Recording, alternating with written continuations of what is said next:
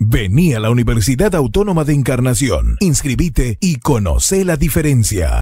Tito Vergara celebrando un poco toda esta inversión en educación, fomentando el crecimiento sobre todo en los distritos eh, que no son de la capital departamental. ¿verdad? Efectivamente, en mi caso celebrando la presencia del director de Yacyretá, ¿verdad? Para eh, visitar una vez más una comunidad de Itapúa, porque no solamente venimos a inaugurar una obra, ¿verdad? Que construyó la binacional, sino de alguna manera también a él le permite ocultar otras necesidades, contactar con las autoridades eh, regionales, ¿verdad? Y ir asumiendo compromisos que es lo que, lo que queremos en el buen sentido de la palabra, ¿verdad? Que Yacyretá siga siendo un factor de desarrollo en el departamento de Itapúa. Bueno, la presencia de tantas figuras itapuenses dentro de la binacional es como que también centra el foco hacia el séptimo departamento. redobla el compromiso, porque lógicamente uno no puede desprenderse de ese compromiso que tiene con, con su área de origen, ¿verdad? De área de influencia en este caso, ¿verdad? Y, y estamos muchos amigos y tenemos un- un- una gran responsabilidad. Lastimosamente, como es de público conocimiento, Yacyretá no está pasando su mejor momento financiero, pero esto es algo temporal, algo transitorio, ¿verdad? Como le decía ayer,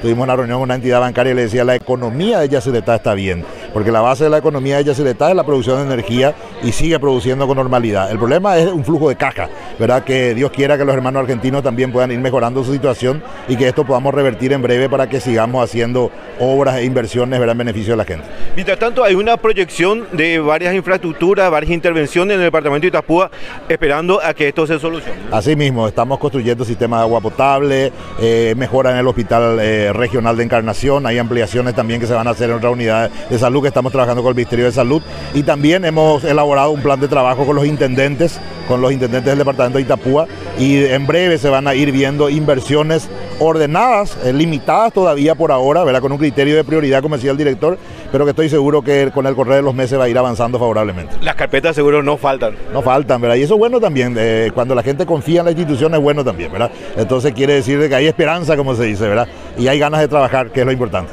Gracias. Muchas gracias a vos, un placer. Bueno, palabras del director financiero de la entidad binacional Yacireta, Tito Vergara, quien eh, daba una perspectiva de lo que es estas obras de infraestructura que se están inaugurando en el departamento de Itapúa.